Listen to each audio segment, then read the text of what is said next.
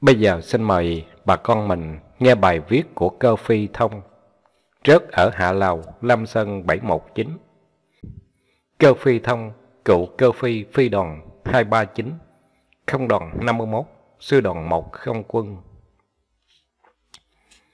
Cuối năm 1970, tôi tốt nghiệp từ Trung tâm huấn luyện không quân Nha Trang, ngành cơ khí viên phi hành trực thăng, gọi tắt là cơ phi chỉ số 43.150 pH và được cha mẹ chạy piston một phát ra ngay phi đoàn trực thăng mới thành lập là phi đoàn 233 phi trường Đà Nẵng xa xôi dịu vợi từ giả Sài Gòn mà lòng muốn khóc. Khi ra trình diện đơn vị thì mới biết phi đoàn của mình chưa có cơ sở hay văn phòng gì cả. Nên tạm thời anh em cơ phi chúng tôi được đặt phái cho một trong những phi đoàn trực thăng kỳ cựu của không quân, là phi đoàn 213 sông Chùy. Mấy tháng đầu, chúng tôi được cắt đi bay vùng Nam Đà Nẵng, quận Đại Lộc và tham dự các trận đổ quân chung quanh đồi 55 của Trung đoàn 51 biệt lập. Hai tháng đi bay này là kinh nghiệm rất quý báu đối với chúng tôi để học hỏi trong khi mặt trận chưa có gì sôi động. Vùng một chiến thuật vẫn còn yên tĩnh, một phần cũng nhờ các căn cứ hỏa lực của bộ binh và thủy quân lục chiến Hoa Kỳ giữ gìn an ninh. Sư đoàn America trấn thủ vùng Chu Lai, Quảng Ngãi, cùng với sư đoàn hai bộ binh. Chung quanh Đà Nẵng thì thủy quân lục chiến Hoa Kỳ, vùng Huế, Thừa Thiên là sư đoàn 101 Airborne và sư đoàn một bộ binh của Việt Nam. Khoảng đầu tháng 2 năm 1971, sau khi ăn một cái Tết đầu tiên ở miền Trung thì thời tiết Đà Nẵng bắt đầu lạnh giá. Đối với những người trong Nam mới ra, chúng tôi được tin từ phi đoàn là sẽ có một cuộc hành quân rất lớn gần vùng phi quân sự, hay là khe xanh gì đó, và phi đoàn 213 sẽ được biệt phái ra Đông Hà để yểm trợ cho quân bạn. Chiều ngày 10 tháng 2, tôi nghe được tin từ phi đoàn là cơ phi Nguyễn Hoàng Ánh, cùng khóa với tôi và đệ nhân viên của phi đoàn 213 đã mất tích và coi như là tử trận. Vì hai chiếc trực thăng đó đã bị phòng không bắn nổ trên vùng trời Hạ Lào trong một phi vụ chở bộ tham mưu quân đoàn 1 và bốn phóng viên ngoại quốc đi căn cứ hỏa lực biệt động quân Bắc và biệt động quân Nam. Cơ phi ánh và đệ cùng cư ngụ chung cư sáu với tôi. Cả hai còn rất trẻ và dễ thương như những cậu học trò. Thường kể chuyện tiếu lâm và cười đùa với anh em. Anh đệ, người hơi nhỏ con và hay mặc bộ đồ bay Nomex của US Army. Vì đã ra trường lâu hơn và có nhiều kinh nghiệm, nên thường chỉ bảo những gì anh biết. Hai tuần sau thì tới phiên tôi được biệt phái ra Đông Hà để tham dự Lâm Sơn 719 bên Hạ Lào. Vì mới ra trường nên tôi chưa biết lạnh cẳng là gì đã không lấy làm sợ mà còn thấy kích thích, còn muốn đi hành quân nguy hiểm. Tôi sinh trưởng ở Sài Gòn nên chưa bao giờ được biết mùi lạnh lẽo là gì.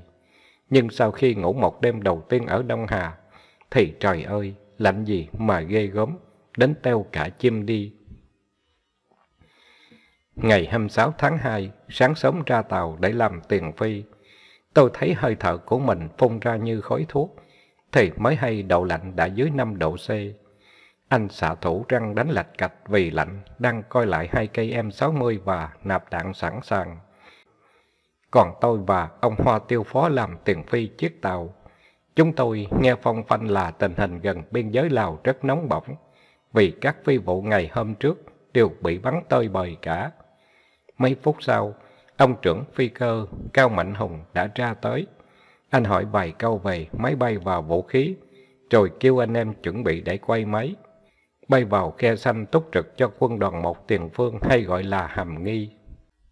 Trên đường vào khe xanh, cả hợp đoàn bay thấp dọc theo quốc lộ số 9, qua Cam Lộ, Mai Lộc với những trảng tranh và đồi xem bạc ngàn. Thì rừng núi bắt đầu cao chấn chở.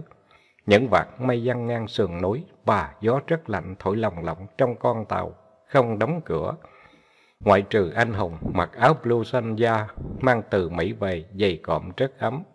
Ai nấy cũng đều phải khoác thêm một áo lạnh của bộ binh, vì cái jacket của không quân cung cấp không đủ sức để chống cái lạnh tàn khốc của miền đèo heo hút gió này. Để có thêm hơi ấm, thuốc lá được thay phiên phì phèo liên miên trong tàu. Khoảng 30 phút sau thì cả hộp đoàn đáp ở phi trường khe xanh, đậu đầy xăng rồi bay tới Hàm Nghi để đợi lệnh hành quân từ quân đoàn một tiền phương. Hồi Tết Mậu Thân 1968, tôi còn đi học ở trường Trung học Lê Bảo Tịnh, thì đã từng nghe nói về khe xanh hầu như mỗi ngày trên TV và báo chí.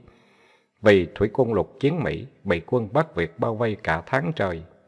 Cho tới nay tôi mới được hân hạnh nhìn thấy và đặt chân đến một vùng mà chỉ nghe nói cũng đủ nổi da gà.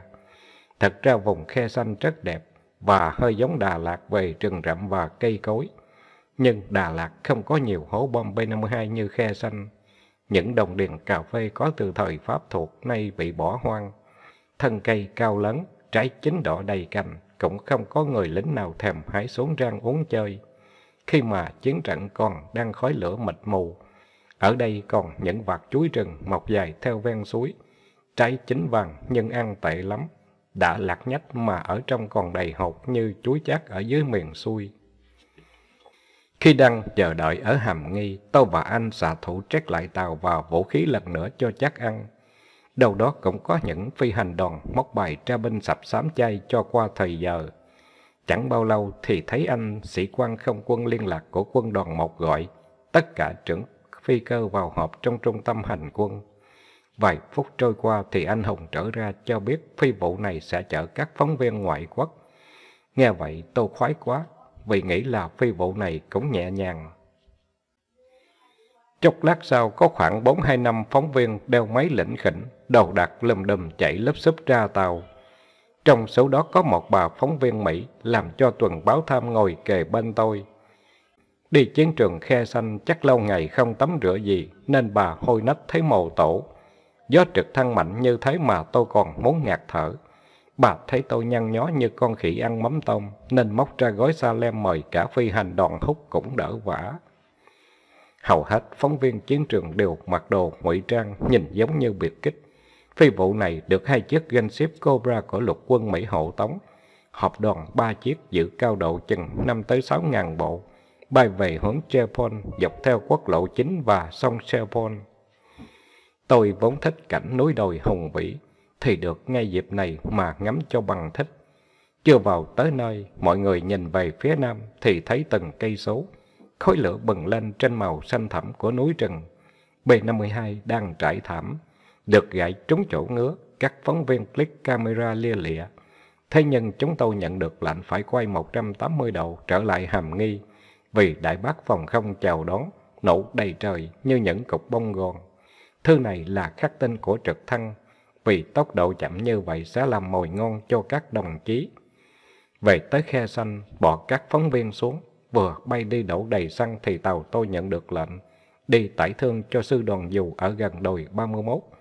Anh Hùng dặn dò anh em cẩn thận trong phi vụ này, bởi vì nguyên một lữ đoàn dù ở đồi 31 đã bị tràn ngập đêm vừa qua, và họ đang chạy về hướng đồi 30. Tôi nghe thấy cũng hơi sợ, vì biết rằng trực thăng của ánh và đệ cũng bị bắn nổ tung trong vùng đồi 31 này. Và L-19 còn cho biết là quân Bắc Việt keo này chơi toàn là súng lớn, từ 12 ly trở lên tới 57 ly, đều chỉnh bằng radar.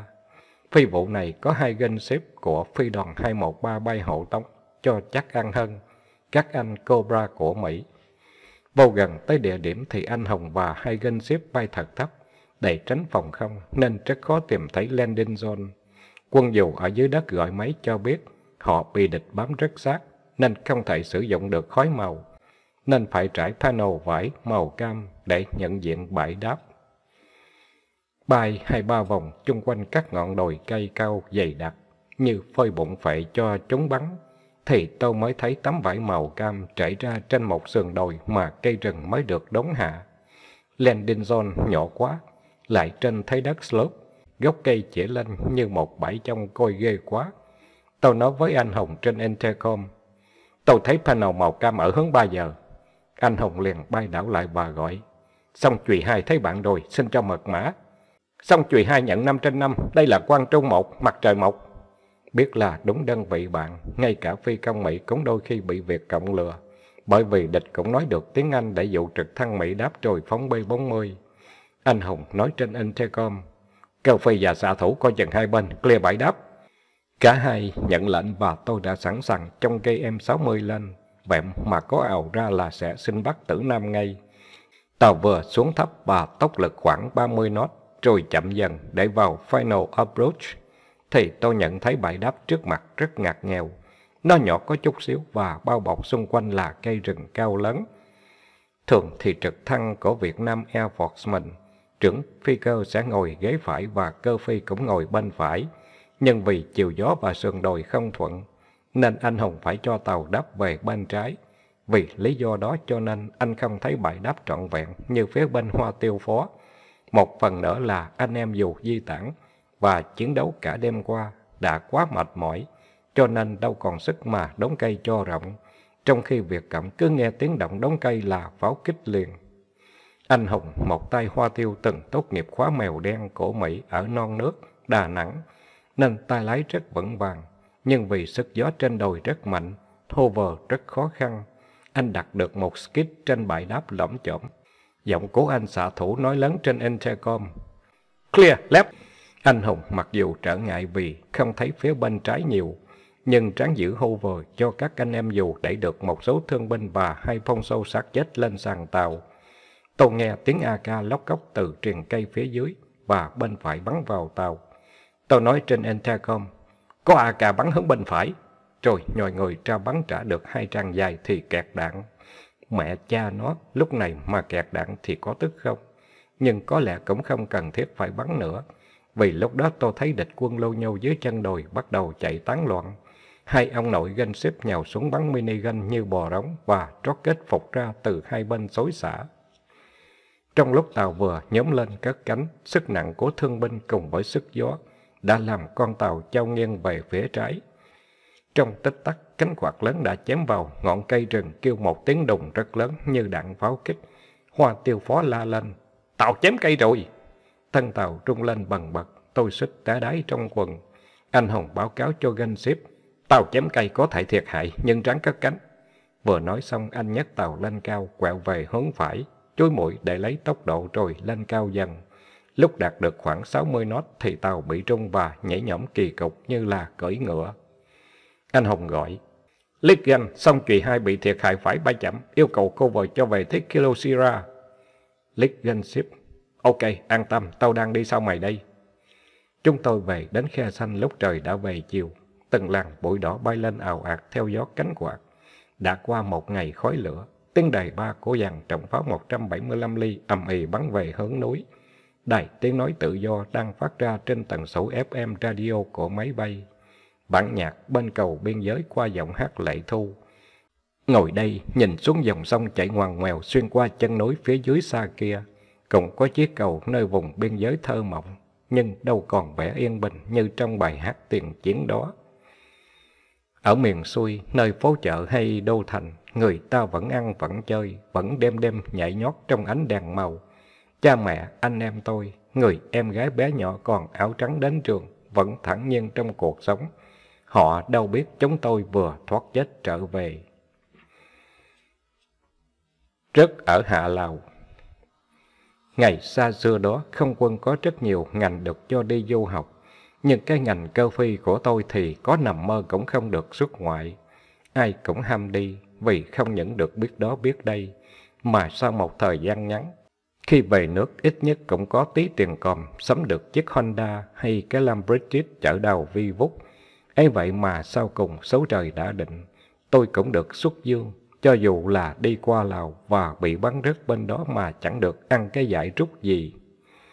Ngày 28 tháng 2, 1971, hôm nay là ngày thứ ba tôi được đặt phái bay cho biệt đội tiền phương đóng tại Đông Hà, yểm trợ hành quân Lam Sơn 719 và cắt bay với phi hành đoàn mới, Trung Quý Đạt, trưởng phi cơ, Thiếu Quý Bi, co-pilot và anh xạ thủ tên Thuận mới thuyên chuyển từ bộ binh qua. Anh khá lớn tuổi, so với đám cơ phi trẻ măng như tôi. Hai chiếc trực thăng danh hiệu Kingstar 4 và 5 liếc bởi thiếu quý phúc của phi đoàn 213 trên đường bay vào khe xanh phải đáp ở Tà Lu. Để đổ thêm xăng, chúng tôi được lệnh standby cho sư đoàn một bộ binh nên sớm vô binh sập sám cho qua thời giờ. Đứa nào không còn tiền mà cũng không muốn chầu rìa thì văn võng nằm ngủ hoặc đọc sách báo. Khoảng 10 giờ sáng trời bỗng bớt sương mù và Thiếu quý Phúc nhận được lệnh bay vào căn cứ hỏa lực Hồng Hà 2 để tiếp tế và tải thương cho trung đoàn 3 sư đoàn 1 bộ binh. Căn cứ hỏa lực Hồng Hà 2 được chiếm giữ và phòng thủ bởi trung đoàn 3. Đó chỉ là một ngọn núi nhỏ vô danh với cao độ dưới 2.000 bộ nằm bên đất Lào. Về phía nam của Lao Bảo và quốc lộ chính, mặc dù không tên tuổi trên bản đồ, nhưng nó đã trở thành một căn cứ chiến lược trong cuộc hành quân Lam Sơn 719 bởi vì nằm chặn ngay yết hầu của đường mòn Hồ Chí Minh, cho nên con cháu bác dù bất cứ giá nào cũng phải bứt gọn diệt gọn. Hồng Hà 2 có hai bãi đáp, một bãi nhỏ dành cho UH1 nằm kế bên bộ chỉ huy trung đoàn và dừng 50 thước về hướng nam là một bãi đáp đất rộng dành cho trực thăng lớn như CH-47 hay CH-53 dùng di chuyển đại pháo 155 ly. Sư đoàn một bộ binh cho phi đoàn biết là tình hình nguy hiểm nhưng không đến nội tệ. Sau này tôi mới biết là nhiều tin tức tình báo, quân báo đã bị che giấu vì họ sợ anh em không quân từ chối phi vụ. Bởi vì sự thật rất là phủ phàng. Hồng Hà 2 đã bị bao vây nguy ngập cả mấy ngày nay và nhiều trực thăng Hoa Kỳ đã bị bắn rớt, cho nên họ đã không đảm nhận những phi vụ mới vào bãi đáp này nữa, mà gọi là Hot Landing Zone. Thiếu quý Phúc biết là phi vụ này rất nguy hiểm cho nên anh ra lệnh cho tất cả anh em hãy chuẩn bị sẵn sàng, như kinh kha sang tầng. Có người còn thủ theo cây M16, bình tông nước và gạo sấy, nhất là mấy anh xạ thủ đã từng ở bộ binh, nên kinh nghiệm về vụ này lắm. Lỡ có rớt còn có cây súng hậu thân và đầu ăn nước uống để cầm cự chờ được cứu. Hai chiếc UH-1H nặng nề đồ tiếp liệu, thực phẩm và đạn dược vung vút quay máy rồi theo nhau cất cánh, bay ra trên ngọn cây hướng về phía tây nam đèo Lao Bảo, qua khỏi làng vây, vượt biên giới Việt Lào dọc theo quốc lộ chính, thì hợp đoàn Rendezvous với hai AH-1 Cobra Gunship của Air Cavalry Hoa Kỳ bay hậu tống. Cả hợp đoàn bốc lên cao độ 5.000 feet rồi bay về hướng nam của quốc lộ chính. Trên đường vào mục tiêu thì thời tiết tốt, chỉ có ít sương mù rải rác khắp nơi phía dưới tàu. Phía bên trái là dãy núi Cô Rốc của vùng A Lưới, âm u kỳ bí. Tôi nhìn thấy đường mòn Hồ Chí Minh chạy dài từ Bắc xuống Nam với màu đất đỏ quạch giữa chốn núi rừng xanh thẳm, rồi la thầm. Cái này mà gọi là đường mòn mẹ gì, rộng thênh thang như xa lộ biên hòa, mà có tới mấy đường chứ không phải một. Nhìn về hướng trước mặt, tôi thấy B-52 mới vừa trải thảm xong gần chung quanh landing zone. Khói của hàng trăm quả bom còn đang ngùng ngục, cho nên chúng tôi cảm thấy an lòng hơn. Chắc là con cháu bác Hồ đã bị bom lửa nướng chín như heo quay rồi. Đoàn tàu giảm cao độ để sửa soạn vào landing zone, thì đại pháo phòng không bắt Việt đủ loại, từ nhiều cao điểm chung quanh bắn lên như hoa đăng trên bầu trời. Tôi nghĩ thầm, mẹ kiếp không khác gì phim 12 O'Clock Height trong đài TV Mỹ. Trong khi đó anh em AH-1 Cobra Mỹ bắt đầu tách khỏi hợp đoàn Việt Nam Air Force để xuống thấp Prip vào các vị trí phòng không của địch bằng cách phóng rocket chống biển người với làn khói màu hồng. Đây là lần đầu tiên tôi thấy loại hỏa tiễn này. Mãi về sau, không quân Việt Nam mới có thứ đặc biệt đó. Bằng vũ khí dưới đất mở đầu đạn ra thì nó chứa hàng ngàn cây đinh, nhìn giống như mũi tên xanh lè màu thép, và nhỏ chỉ bằng cây tâm mà thôi. Đầu nó nhọn như mũi đinh đóng guốc, nhưng đuôi xòe ra bốn cánh như đuôi bom. Thứ này khi trúng vào người thì vết thương bích lại làm địch quân rất dễ chết, cho dù không thấy chảy máu gì hết. Những trái đạn đại bác phòng không bắn lên nổ từng đám khói như tẩm bông gòn càng lúc càng nhiều. Trong tần số VHF, mấy anh Cobra la chói lói. Ground fire! Ground fire! Chỉ một lát sau, hai anh Cobra đã chuồn đâu mất tiêu. Chỉ còn lại hai chiếc Huey của Việt Nam Air Force, giống như gà tàu vào làm mồi cho chó sói. Thế là mấy cây M60 của chúng tôi bắt đầu bắn rải hai phía hông. Tiêu Vi Phúc đã vào bãi đáp trước, nhưng ông bị một viên AK bắn bảy đầu gối. Thân tàu cũng bị bắn trúng nhiều chỗ. Đèn báo nguy màu đỏ nổi lên quá nhiều, nên co-pilot phải tắt máy khi vừa chạm mặt đất. cả phi hành đoàn chạy xuống giao thông hào ẩn trú với hy vọng chiếc trail xảo nhào xuống pick up. Nhưng khi Slick 2 vào final approach, thì bãi đáp đang bị pháo kích tơi bời. Tôi nhìn qua landing zone kế bên, dùng cho pháo binh, thì thấy xác trực thăng Mỹ nằm ngổn ngang. Có cả chiếc trực thăng khổng lồ CH-53, Sea Stallion của thủy quân lục chiến Mỹ nằm kề một chiếc OH-6. Mấy chiếc này đã bị bắn rơi mấy ngày trước đây khi tráng di tản mấy khẩu 155 ly. Trùng quy Đạt muốn cứu phi hành đoàn nên cũng ào vô hover kế bên cạnh chiếc Lick Slick đã tắt máy. Lúc đó pháo kích quá dữ dội cho nên phi hành đoàn chiếc kia không thể nào nhào lên chiếc treo của mình.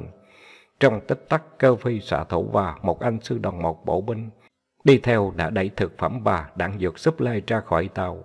Nhìn ra ngoài, tôi thấy incoming nổ gần landing zone không ngừng. Tiếng Anh xạ thủ thét trong intercom. Tôi bị thương rồi! Lúc này mà còn chần chờ là chết. Ông Đạt hét. Clear to take off!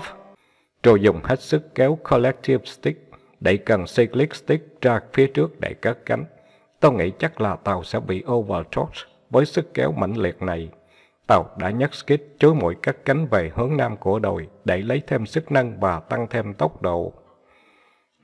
Những người từng bay vùng núi rừng Đà Nẵng hay Pleiku đều biết qua cái cảm giác lạnh cẳng khi đáp hay cất cánh từ những hot landing zone. Lúc đó tốc lực của chiếc trực thăng rất chậm, nên thường trở thành một cái bia lớn cho các đồng chí con cháu bắt thực tập tác xã. Một trong những cách để tránh né phòng không của hot landing zone là dùng phương pháp lá vàng rơi hay overhead auto rotation, giảm cao độ thật nhanh từ mốc trên không để đáp xuống landing zone cho được an toàn. Nhưng pilot phải là những tay đầy bản lãnh và kinh nghiệm mới thảy lỗ được. Cũng nên biết phòng không Việt Cộng vùng Hạ Lào là những tiểu đoàn kinh nghiệm từ miền Bắc đưa vào. Họ từng bắn rất nhiều phản lực của Hoa Kỳ trong những cuộc không tập Lai Barker 1 và 2. Ngoài đó, theo tin tình báo của Hoa Kỳ cho biết, có hơn 6 tiểu đoàn đã được thuyên chuyển về vùng Hạ Lào để đương đầu với không lực Hoa Kỳ và Việt Nam. Pilot của không quân Hoa Kỳ đều công nhận là hệ thống AAA Anti-Aircraft ở vùng Hạ Lào không thua gì ngoài Bắc Việt. Kết quả là trên 300 trực thăng đủ loại đã bị bắn rơi sau khi cuộc hành quân Lam Sơn 719 chấm dứt. Để tiếp tục câu chuyện, Kingstar 5 lúc này đã đạt tốc độ 50 knot, nhiều cục lửa bay về hướng tàu không ngừng. Một trong những viên đạn này, tôi đoán cỡ 37 ly, lao vào tàu trúng vào ngay hộp số rồi nổ tung phía sau lưng tôi. Lửa và khói bộc phát mãnh liệt. Tôi nghĩ thầm, thôi thấy là đời mình chấm dứt ở đây, đành bỏ xác ở nơi xứ lạ quê người rồi. Tất cả đèn phi cụ đều bật đỏ, ông Đạt hét lên trên tần số qua. Mây đi, mây đi!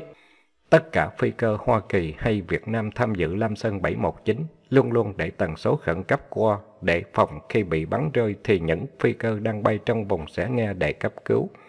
Trung quý đạt liền auto rotation xuống thung lũng trước mặt. Ông biết chần chờ là tàu có thể nổ tung. Tôi thấy rừng cây càng lúc càng gần. Trong tích tắc tàu rơi chúng ngay một khoảng rừng cây nhỏ cái âm.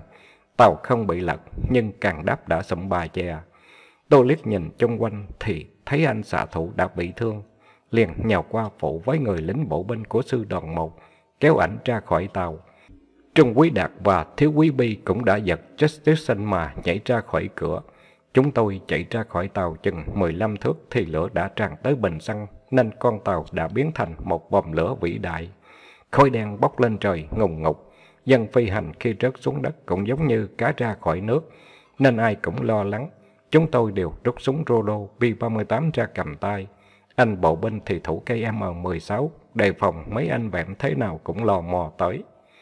Chúng tôi biết là mình rất không xa, Hồng Hà hay lắm, nhưng chỗ này nằm trong một lòng thung lũng, nên nhìn chung quanh chỉ thấy rừng cây và đồi núi trùng điệp, vẹt bờ, bụi gai gốc mà đi một lúc lâu.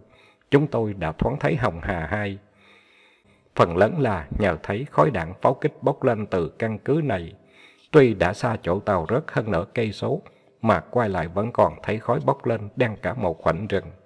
Cây cối đã cao lớn, mà cỏ voi rậm rạp cũng cao lúc đầu người, nên chúng tôi như mấy con gà con chui vào ruộng lúa.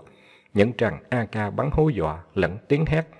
Bắt lấy chúng nó, mấy thằng giặc lái máy bay lên thẳng. Trung Quý Đạt dẫn đầu, tôi và anh bộ bên thay phiên nhau dìu anh Thuận và Thiếu Quý Bi thì đi đoạn hậu. Cả toán lết hết hướng về Hồng Hà hai.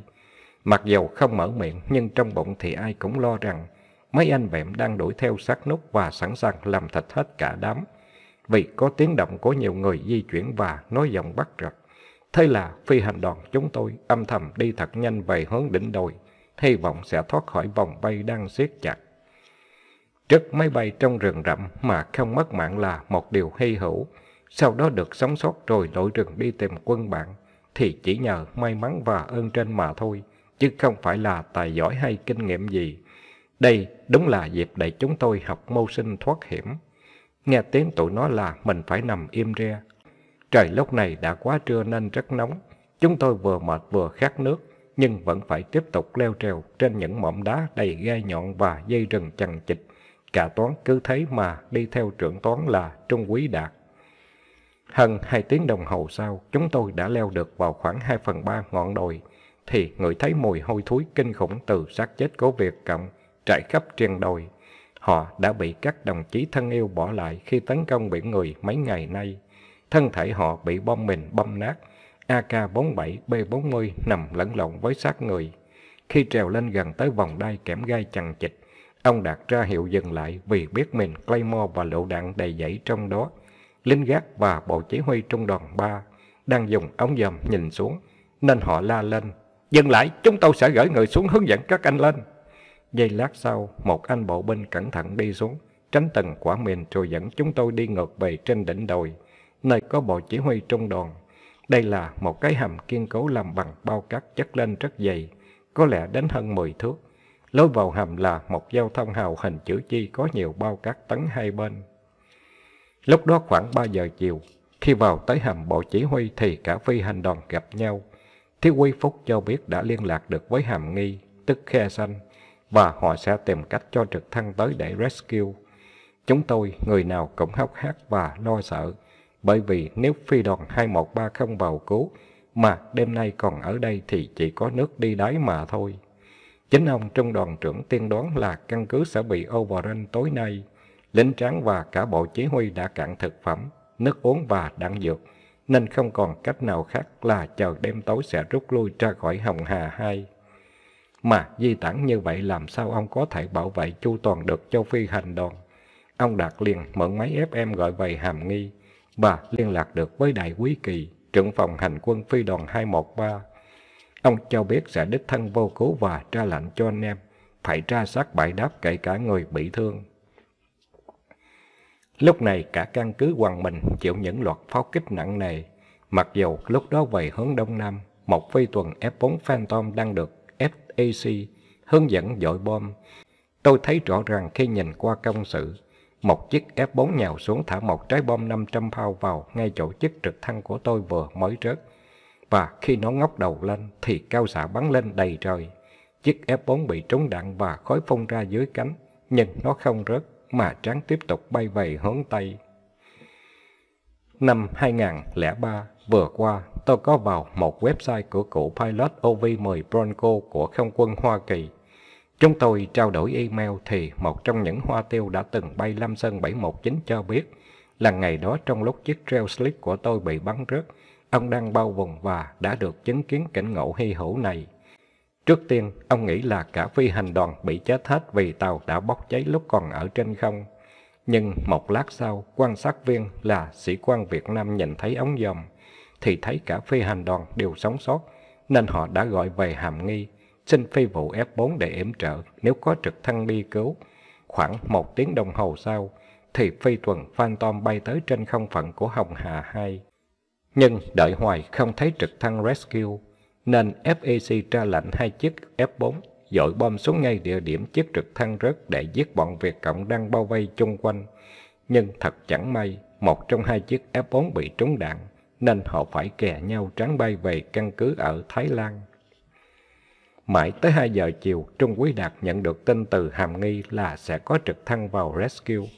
Anh ra lệnh hai phi hành đoàn phải chuẩn bị sẵn sàng và dìu các anh em bị thương tới thật gần bãi đáp. Lúc này chắc là các cháu ngoan cổ bác đang ăn cơm hay đánh giấc ngủ trưa, mà pháo kích ngưng hẳn. Trời về chiều nóng như thiêu đốt, đúng là xứ lèo, đêm thì lạnh, ngày thì nóng. Chúng tôi khát nước nên quên cả đói, thì cả bọn mừng như điên khi nghe thấy tiếng phạch phạch quen thuộc từ hướng đông bắc đi tới.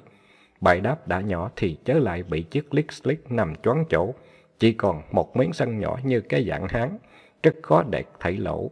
Chỉ ít giây sau thì đại quý kỳ vào không phận Hồng Hà hay Ông overhead auto rotate từ trên cao như một con đại bàng xà xuống bắt mồi. Nhưng thật không may, ông lại đáp lộn bãi. Nơi đó rất xa nơi anh em chúng tôi đang ẩn trú. Hovering khá lâu mà không thấy ai chạy ra. Ông đoán là mình đáp lộn chỗ hoặc đã xảy ra sự gì cho phi hành đoàn rồi. Vì lúc này đạn pháo kích nổ tơi bời. Ông bèn cất cánh về hướng Tây Bắc, đi sát ngọn cây mà ra khỏi Hồng Hà 2 với một con tàu trống lỏng. Bay ra khỏi Hồng Hà 2 chừng 5 phút, ông Kỳ lại liên lạc với trung đoàn ba lần nữa và xin nói chuyện với phi hành đoàn. Ông đã hỏi trung Quý Đạt nhiều chi tiết để biết chắc là chúng tôi đang ở chỗ nào. Thế rồi ông quay mũi tàu 180 độ ngược trở lại và đi ray smooth, sắc đỏ cây mà trở lại landing zone. Đại pháo phòng không còn làm gì được nữa, nên tụ về cổng nổ AK như bắp trang, với hy vọng sẽ bắn rơi chiếc máy bay lên thẳng đơn côi này. Phải tài ba lắm, nên với tốc độ như thế mà không cần đảo vòng, ông Kỳ đã hover sát giao thông hào của tụi tôi. Chúng tôi đẩy được thương binh lên tàu rồi sáu anh em còn lại phóng vào thân tàu nhanh như sóc. Việc xảy ra rất lẹ, nhưng cũng có ít nhất bốn hai năm binh sĩ núp gần đó nhảy lên trốn ra khỏi căn cứ này. Trọng pháo 130 ly và hỏa tiễn 122 ly dạo tới tấp vào Hồng Hà hay không ngừng. Vì đề lô vẹn biết là trực thăng cấp cứu đang trên bãi đáp. Khi biết là anh em lên được đầy đủ, ông Kỳ cất cánh rất khó khăn vì tàu chở quá nặng lại gió xuôi. Ông cho tàu chuối mũi ra phía thung lũng trước mắt để lấy tốc độ, và từ đó Rice đi ra khỏi Hồng Hà 2. Mấy anh vẹm dưới chân đồi đồng loạt tiễn đưa bằng những tràng AK giòn như pháo Tết. Nhiều viên trúng ngay thân tàu, nhưng cũng may không nhầm chỗ quan trọng. Chúng tôi nửa mừng nửa sợ. Mừng vì đang ra khỏi chỗ đầy nguy hiểm. Sợ là vì trực thăng có thể trúng đạn và mình lại rớt xuống lần nữa. Trong tàu chật cứng đầy người như hộp cá mồi sạc sardine. Tôi chỉ biết nhắm mắt cầu trời cho qua giây phút hiểm nghèo này. Hết nghe tiếng đạn bắn, ông Kỳ biết là đã an toàn nên kéo tàu lên cao và đổi hướng bay về khe xanh. Khoảng 15 phút bay, tàu đã đến biên giới vùng quốc lộ chính Lao Bảo. Cả phi hành đoàn ai cũng mừng rỡ vì biết mình lại được sống thêm một ngày nữa. Còn tôi cảm thấy như mình vừa mới hồi sinh. Với tuổi trẻ như tôi, lúc 20 tuổi, mà đã phải va chạm với tử thần mấy lần trong một tuần lễ thì quả là cuộc đời mình đen như mõm chó. Tôi tự an ủi, ai cũng có số phận cả, lo lắng mà làm quái gì. Tàu vừa đặt càng skit xuống bãi đáp hàm nghi, thì từ trung tâm hành quân nhiều phóng viên trong và ngoài nước đã đổ xô ra chụp hình và phỏng vấn phi hành đoàn. Tôi lủi thủi đến bên cạnh anh lính bộ binh đang đứng gác, gật đầu chào rồi tháo nắp bình tông của anh ta mà ngựa cậu uống vội vàng đến nỗi nước tràn đầy lên mặt. Lời cuối bài Cuối năm 2004, tôi có điện thoại cho cựu Trung tá Kỳ đang ở Virginia để vấn ăn thăm hỏi. Khi đề cập đến phi vụ ngày ấy thì được ông cho biết thêm chi tiết này. Trung tướng Hoàng Xuân Lãm, tư lệnh hành quân Lâm Sơn 719, khi hai tên hai chiếc Việt Nam Air Force trực thăng bị bắn rơi, đã ra lệnh không được gửi trực thăng vào cấp cứu nữa vì quá nguy hiểm, chỉ thí thêm máy bay mà thôi. Ông Kỳ đã không tuân lệnh trên, âm thầm để cơ phi xạ thủ và cô pilot ở lại kha xanh. Một mình cất cánh bay vào Hồng Hà 2 mà chẳng có gân ship hay Cobra nào đi hậu tống cả. Nhờ tài năng, sự hy sinh và can đảm của ông mà mấy anh em chúng tôi còn sống cho tới ngày hôm nay. Anh Đạt hiện nay cư ngụ ở Cali, anh Phúc được giải ngũ năm 71 vì bị bể đầu gối, cư ngụ tại Arizona. Thiếu quý bi của phi đoàn 233 đã tự trận ở Ba Tơ, Quảng Ngãi năm 72. Tôi xin cảm ơn những cấp trên, không quân Đạt, không quân Phúc và không quân Kỳ đã giúp nhiều chi tiết để đóng góp cho hồi ký này được thêm phần đầy đủ và chính xác. Cụ cơ phi, trực thăng thông, sư đoàn 1 không quân, không đoàn 51, phi đoàn 239. Bài viết đến đây đã chấm dứt. Xin cảm ơn tác giả, cảm ơn bà con mình đã lắng nghe.